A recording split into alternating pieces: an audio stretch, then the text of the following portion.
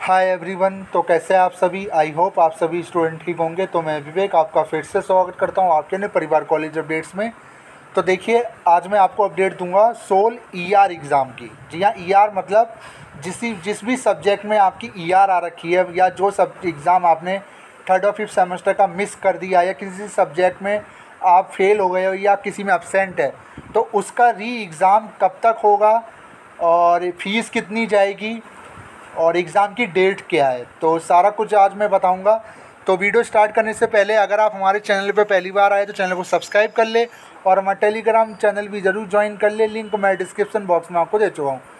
तो फाइनली आप सभी को मैं कॉन्ग्रेचुलेसन देना चाहूँगा कि आपका फाइनली फोर और सिक्स सेमेस्टर के ऑलमोस्ट जो एग्ज़ाम्स हैं, वो ख़त्म हो चुके हैं और थर्ड और फिफ्थ सेमेस्टर का रिज़ल्ट पहले ही आ चुका है एग्ज़ाम से पहले।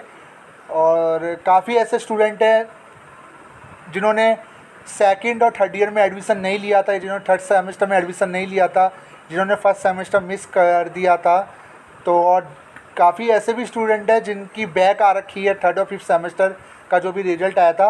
उन सभी के एग्ज़ाम फॉर्म या मैं कहूँ कि उन सभी के एग्ज़ाम कब तक होंगे?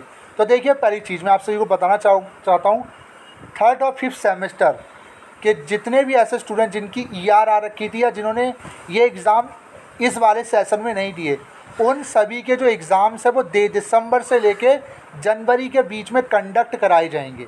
ठीक है? इसके अलावा इसके लिए आपको एक एग्ज़ाम फॉर्म भरना होगा और फ़ीस आपकी 400 से 500 रुपये पर सब्जेक्ट आपकी जाएगी। इससे ज़्यादा नहीं जाएगी जो बैक के पेपर की फ़ीस होती है।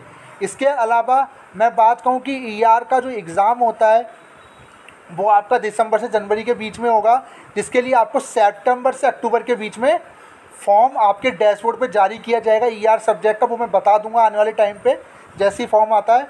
तो फ़िलहाल अभी के लिए तो अभी भूल जाइए कि जिनका भी ई आर है, अभी आप एग्ज़ाम दे पाओगे। अभी तो तीन महीना मान के चलिए कि अभी आपका रेस्ट ही करो, तैयारी में लग जाओ। जो भी अदर्स आपका, जो भी एक्टिविटीज़ हैं। फ़िलहाल ई आर एग्ज़ाम की फ़ीस मैंने बता दी, चार सौ से पाँच सौ रुपये पर सब्जेक्ट रहेगी, इससे ज़्यादा नहीं होगी। डेट्स दिसंबर से जनवरी के बीच में एग्ज़ाम्स होंगे आपके और फॉर्म आपका सेप्टेम्बर से अक्टूबर के बीच में फॉर्म जारी किया जाएगा। ई आर एग्ज़ाम के लिए मैंने आपको अपडेट दी है। तो ये थी छोटी सी वीडियो थी। बाकी ये वीडियो कैसे लगी, वीडियो को लाइक कर दे, चैनल को सब्सक्राइब कर दे। Thank you so much.